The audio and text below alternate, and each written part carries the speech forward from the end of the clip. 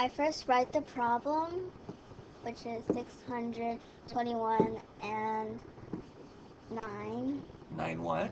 9 tenths. Write the problem down. Minus 247 and 63 hundredths. And Why did you write it that way? so it would be easier and I don't have to do it mentally. And what do you have to make sure when you're writing it? That my decimals are lined up. Okay.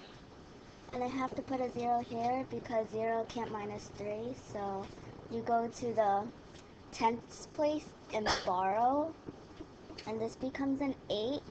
This this number becomes a ten, and ten minus three is seven, and eight minus six is two.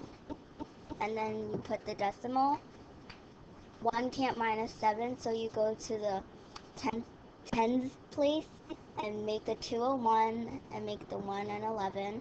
And 11 minus 7 is 4. But when 1 can't minus 4, so you go to the hundredth place, make the 6 a 5, and make the 1 and 11.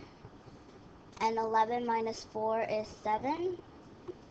And 5 minus 2 is 3. My final answer is 374 and 27 hundredths.